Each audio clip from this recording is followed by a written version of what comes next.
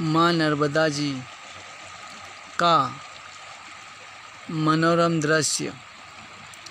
जी हाँ मित्रों, देख लीजिए, आज मैं आप लोगों को जो हमारे गाँव के ठीक सामने माँ नर्मदा जी के बीचों बीच जो टापू है, जिसको हम भैरवान टापू भी कहते हैं, उस टापू पर का वीडियो मैं आप लोगों को दिखा रहा हूँ और यह टापू माँ नर्मदा जी के बीचों बीच में है। जी हाँ मित्रों, देख लीजिए।